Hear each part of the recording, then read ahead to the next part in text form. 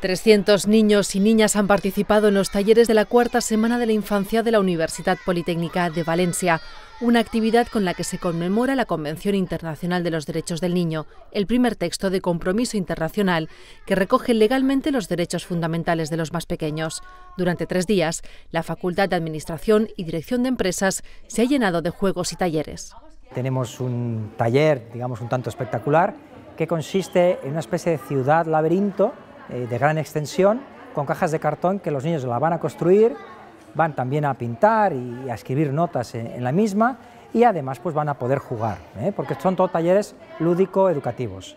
El derecho a la vida, a la educación, a la alimentación, la salud, el agua, la identidad, la libertad y la protección son los derechos fundamentales de la infancia. De ellos se ha hablado en los distintos talleres, pero desde un punto de vista lúdico.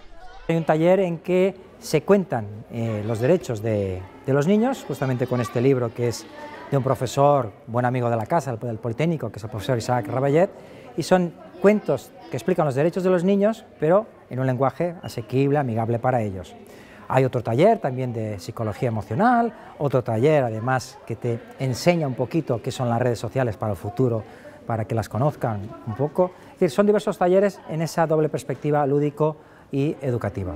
He hecho lo de Instagram, hemos construido casas, edificios. Nos han contado una historia, hemos hecho mm, ciudad y hemos, hemos puesto lo que, lo que utilizamos en Snapchat y todo eso. ¿Qué es lo que más te ha gustado de todo lo que habéis hecho? Las casas, porque hemos colaborado todos.